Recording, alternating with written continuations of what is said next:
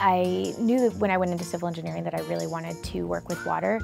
And as I started researching companies and potential job opportunities, MWH just constantly stood out to me. I found myself going back to the website over and over again because I loved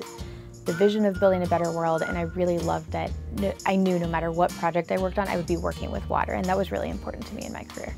My favorite day of my job ever was a day that I did field testing for one of our local municipal clients. It was kind of a muggy, nasty day outside, but I had so much fun because I got to work with the client, I got to run fire flow tests, and I got I spent a lot of time working on models on the computer, and I got to spend some time seeing the real world version of what I spend a lot of time doing on the computer, so that was pretty neat.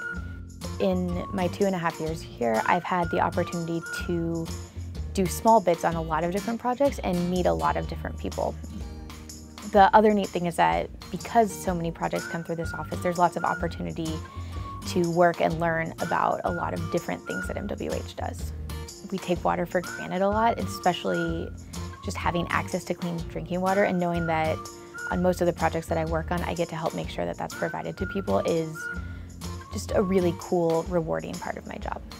My name is Hillary Holmes, and I'm a civil engineer at MWH.